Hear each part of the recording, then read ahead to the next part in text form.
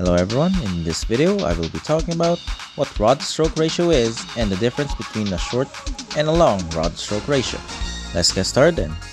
Rod stroke ratio is basically the ratio between the connecting rod length and the stroke of the crankshaft. And to calculate this, you would need to divide the length of the connecting rod to the stroke of the crankshaft. So as an example, I would use the BMW M20B25 as I am very familiar with this engine.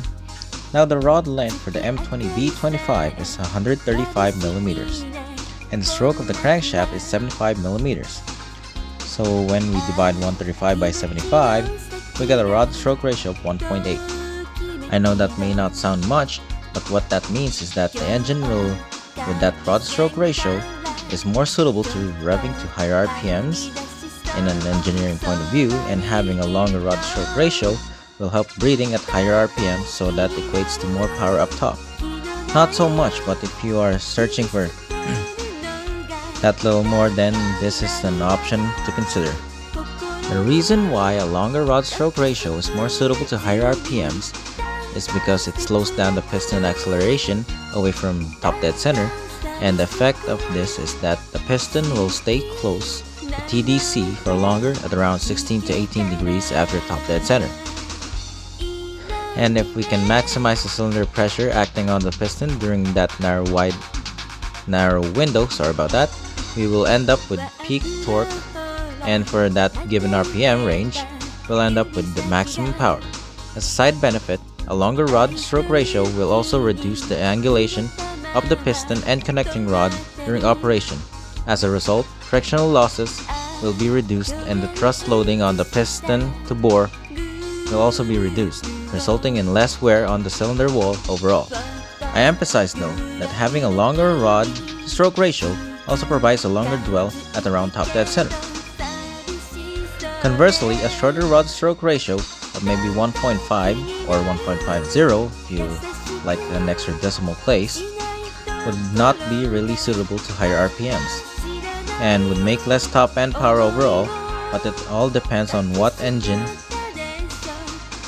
we are working on and how much we can change the rod stroke ratio given the constraints of the engine we are working on. A shorter rod stroke ratio will also increase the wear we see on the cylinder walls. Along with faster acceleration of piston from top dead center, this will also improve the engine's breathing at lower RPMs. That's not to say that you can't use a lower rod stroke ratio to run your engine to higher RPM range maybe in the region of 8500 to 9000 RPMs, provided you are using quality parts. Because at lower rod stroke ratios, when using factory parts will end up badly because the factory engineers only design the pistons and connecting rods to only handle the factory rev limit. And maybe with a little bit of a buffer for safety. All in all, if you are faced with the situation where you can't improve the rod stroke ratio and getting more capacity and adversely affecting this ratio by going to a stroker crankshaft is more beneficial in improving performance. Although there's a trade-off at higher RPMs, that is it will produce a little less power but as with all things, there's always a compromise.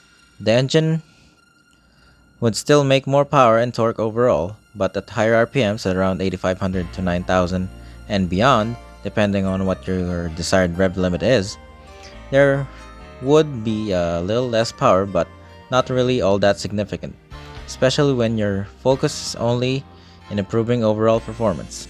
And every last horsepower is not all that critical compared to the likes of Formula 1 engines that they have to squeeze every last performance possible while still being in the rules. There's a good video by Garage 4A GE on the performance benefit of changing to a longer rod stroke ratio on a 16 valve 4A GE. I'll put up a card here on the right hand side so you guys can check that out. Well, that concludes our topic for today. I hope that you guys enjoyed the video and if you liked the video, do leave a like, comment, and subscribe for more. And if you would like to support the channel, links would be down in the description box below. Do tell me down in the comments down below what would you like to learn next? Maybe calculating compression ratio manually?